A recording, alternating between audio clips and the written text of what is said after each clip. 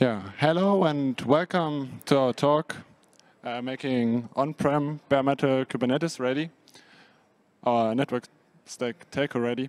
And um, yeah, so Christopher and I will guide you of who we are as a company and also what our platform is. And in the end, there will be a tech-savvy thing, which we open sourced.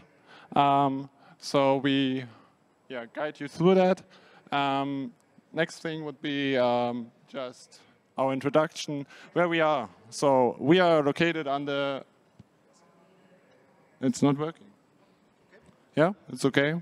Um, so yeah, I'm located in Düsseldorf, uh, Germany, and I'm very, I'm drinking a lot of coffee, and um, yeah, I'm cycling, doing stuff, and um, also hacking. And yeah, I'm also now, since two years, I'm an amateur snowboarder. And if you want to check me out, um, you can also click in the presentation, uh, the things below. And yeah, guide you through you, Christopher. Uh, yeah, hi. My name is Christopher Dziomba. Um, I'm located in Bonn, right next to the headquarters of Deutsche Telekom Group. Um, I love to cook, actually. Um, at night, I'm a software and hardware tinkerer, and in my free time, I'm actually a passionate skier. Um, and I'm a DevOps engineer at Deutsche Telekom at the uh, Telekom cluster or container as a service team. Um, and we are building platform for cloud native uh, telco workloads. Yeah, now we come to our organization. So you all know DT as a company. Um, it's a little bit bigger than most of you think. So we have like T-Mobile US, which you all know, I think.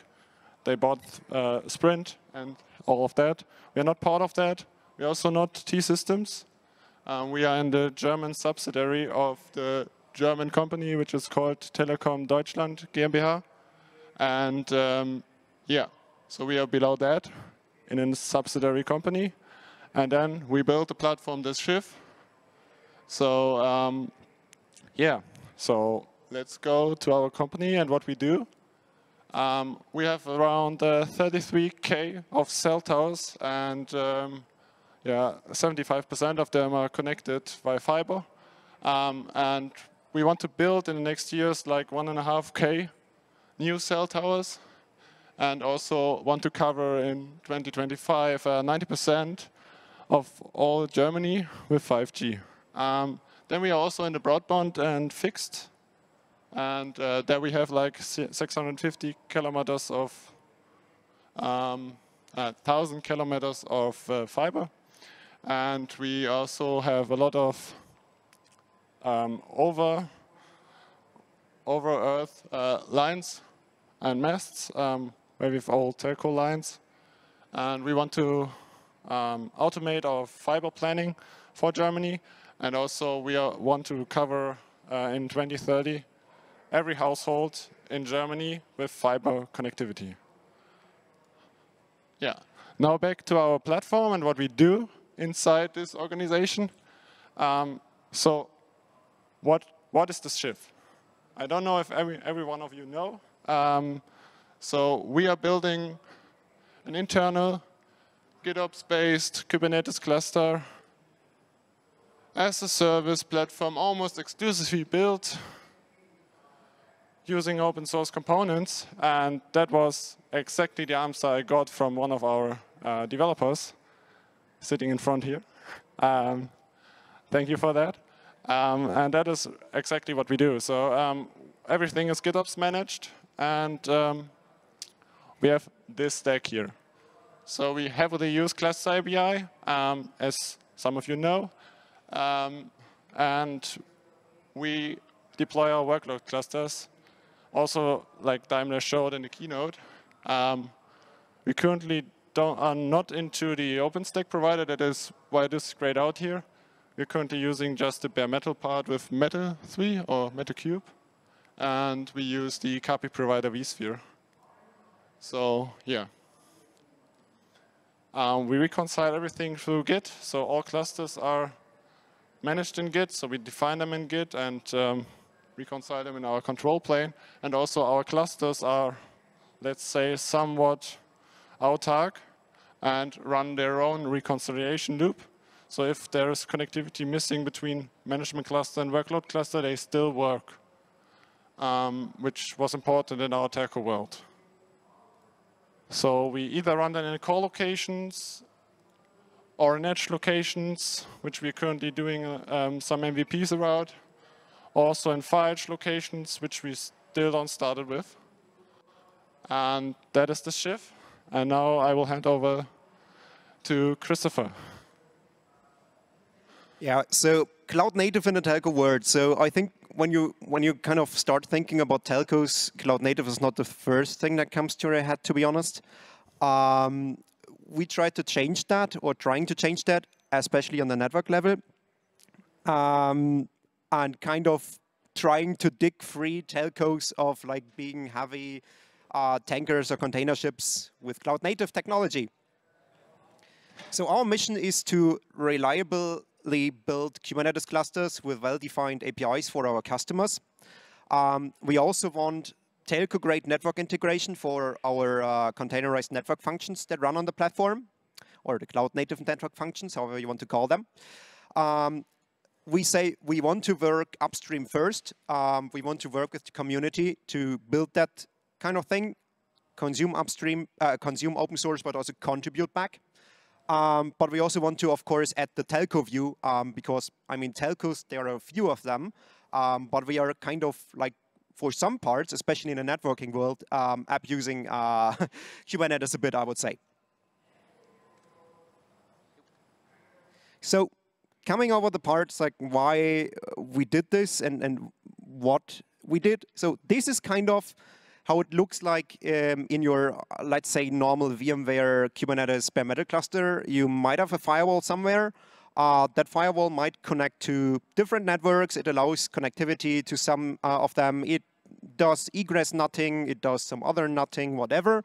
Um, but you have one VLAN. Um, your nodes are attached to it, your Kubernetes nodes, and you're running, for example, Calico or Cilium um, top of them, um, which is building a full mesh across it. But you still have that kind of firewall as a central component to manage. Of course, there are operators that do that, but it's a central component, and especially in high traffic cases, firewalls are becoming quite expensive. Now, what people did is there is a RFC which is like, okay, please run BGP into in, in large data center networks. If you don't know BGP, BGP is kind of the border gateway protocol that is used to route um, internet traffic or to steer internet traffic uh, over the all like world. Um, and this is what should also be used in a data center because it is proven uh, to work in the internet. So why shouldn't we use it there? Now, with IP fabrics, of course, you want to have um, somewhat isolation between your networks. So you end up maybe doing um, for example, BGP EVPN, um, which is like a VPN kind of solution on top of it, um, implementing um, VXLAN um, across your switches and building then to your server. You might have, for example, connectivity uh, through something called multi-chassis link aggregation on your leaf level. Um, and or EVPN MH multi-homing, which is quite new, which I think other than Cumulus doesn't really support it anywhere. But the traffic flow in IP fabric kind of looks like this. You have the border leaves which connect to the outside networks. Um, I left out the firewalls in that picture per, um, by purpose to make it a bit easier. You have the spines, which are your like your spines in the network, of course, like the name is saying. And you have the leaves, uh, which your servers connect to.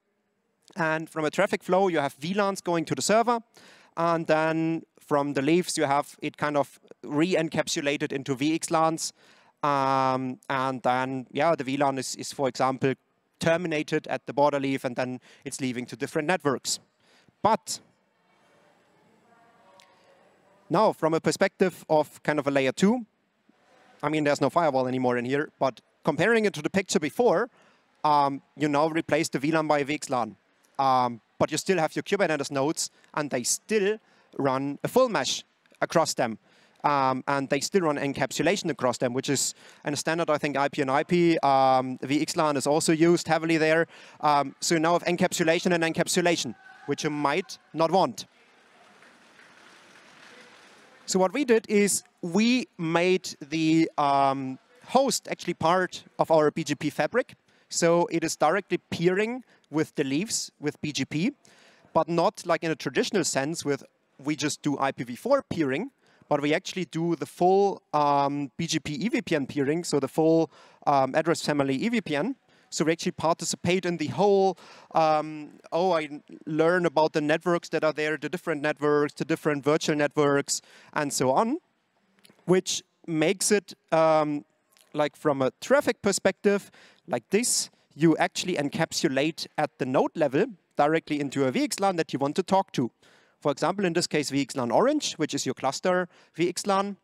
Um, you can yeah, talk to your other Kubernetes nodes. You can talk to, um, for example, the border leaf, and from the border leaf, it's getting into other networks. From VXLAN view, um, this also brings one additional thing. Um, everything can be routed now. Nothing needs to be layer two kind of VLAN, but every like every node IP address, every pod IP address can be um, a so-called host route or EVPN type 5 route, however you want to call it. Um, and everything is really routed, no layer 2, no multicast broadcast whatsoever, what you have there. Um, however, this brings one more issue on the um, border leaf, actually. You have to kind of select, okay, maybe my nodes want to send to this destination, to this network, or my uh, for, for this IP address through the other network. So you have to do some kind of configuration centrally at your border leaf. This brings in complexity, automation complexity, which can partly be solved by automation, but still it needs to be managed um, and also observed at some point. So what we proposed as a solution internally and also kind of um, rolled out here is we already have the nodes part of the IP fabric. Why should they participate in one VXLAN, VRF, VNI only? They could be in more of than one. And actually, why should we then do actually this kind of steering where the traffic should end up at the border leaf when we could, for example, just do it at the node? So now at the node level, you directly have connectivity to your like orange VXLAN, which is now your tenant VXLAN, which is just for your east-west traffic in the cluster um, but also your, for example, Blue VXLAN here, which is then where we actually directly learn all the routes from the network one on our Kubernetes node and can say, okay, um, this is now the destination for our traffic. It looks a bit like that. Um, for example, if you have connectivity to both networks, um, you have the three VXLANs, one for network one, one for network two, um, and another one for um, yeah, the, the, Kubernetes cluster east-west traffic, pod to pod, node to node. Um, all of them is type 5, so everything is host route, everything is a direct route, no layer 2. Um, network engineers are happy. Um,